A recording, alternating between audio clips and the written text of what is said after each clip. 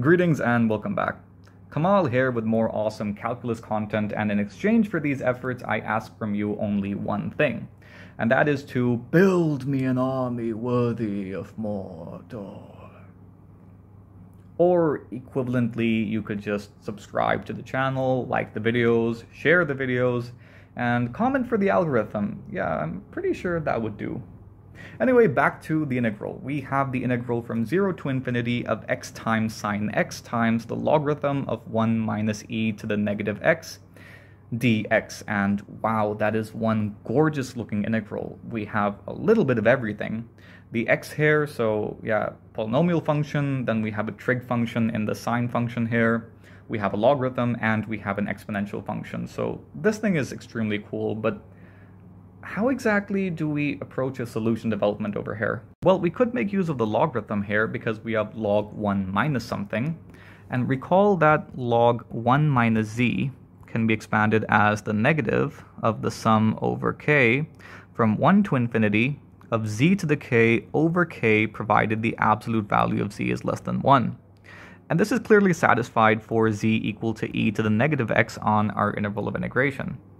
So this implies that i equals the negative of the integral from 0 to infinity, terribly sorry about that, of x times sine x times the sum over k from 1 to infinity of e to the negative x to the k would be e to the negative kx over k dx. Now this thing is independent of the index variable k, so we can take it inside the summation operator.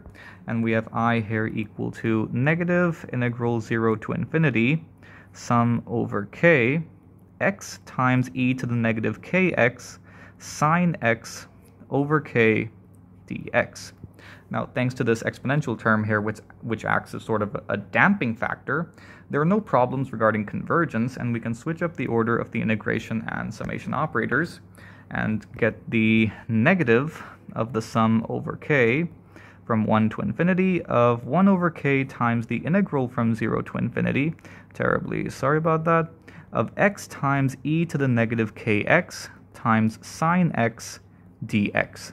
So we need to evaluate this integral here, which is pretty interesting because it looks a lot like a Laplace transform. The only problem is that we have an extra x term over here. But that's not really a problem because we have Feynman's trick of differentiating under the integral sign. So starting off with the integral from 0 to infinity of e to the negative kx times sine x dx, which is just the Laplace transform for the sine function with the s variable being renamed to the k variable, this thing equals 1 over 1 plus k squared. So what we need to do is differentiate this thing with respect to k. So that gives us on the left the integral from 0 to infinity of the partial derivative with respect to k of e to the negative kx times sine x dx. And on the right we have negative 2k over 1 plus k squared squared. So differentiating gives us the integral from 0 to infinity e to the negative kx and because of the chain rule we have this negative x term here as well sine x dx equal to 2k, negative 2k that is, over 1 plus k squared squared. The negative signs cancel out and we have this really cool looking integration result. So that means our integration problem is now completely a summation problem. So i here equals negative sum over k from 1 to infinity of 1 over k times 2k divided by 1 plus k squared squared. The k's cancel out, and that means we're interested in evaluating negative 2 times the sum, terribly sorry about that, the sum over k from 1 to infinity of 1 over 1 plus k squared squared. Okay, cool. Now, how exactly are we supposed to do that? Well, there's this really cool infinite series result I derived a while back. I'll link that in the description box. That the sum over k from 1 to infinity of 1 over k squared plus alpha squared equals pi times the hyperbolic cotangent of pi alpha over 2 alpha minus 1 over 2 alpha squared. Yeah, I think I proved this using complex analysis. I think there are two different proof videos I've made for this. I'll look for them or it and then just link it in the description box. Okay, cool. So we're, we're interested in alpha being equal to 1, but not right now. We're interested in alpha being 1 later. First, we need to figure out a way to get a square around this thing, and that's pretty easy. All we need to do is differentiate. So we'll differentiate this with respect to the alpha parameter, and that gives us on the left the sum over k from 1 to infinity of negative 2 alpha over k squared plus alpha squared squared equal to, let's see, we should have the negative signs would cancel out and we have 2 over 2 alpha cubed so that's just 1 over alpha cubed plus now I'm going to need the quotient rule so that means we have alpha times the derivative of the hyperbolic cotangent is negative hyperbolic cosecant squared pi alpha and of course, because of the chain rule, we have another factor of pi. So let me just move this thing around a little bit over here. In fact, I might need to move this thing to the left. So we have negative pi times alpha times the hyperbolic cosecant squared minus, well, hyperbolic cotangent pi alpha and the derivative of alpha is of course 1. Divide the whole thing by alpha squared and we're home free.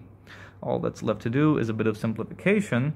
So expanding by 1 over 2 alpha, negative 1 over 2 alpha that is, we have the sum over k from 1 to infinity of 1 over k squared plus alpha squared Notice that we invoked Feynman's trick of differentiating under the integral sign, and then we differentiated an infinite series. So yeah, this was this was a pretty cool all-round calculus video. We had a little bit of everything regarding functions in the integrand, and now we have integrals, derivatives, and infinite and infinite series expansion. So this is awesome. This is definitely one of my all-time favorite videos.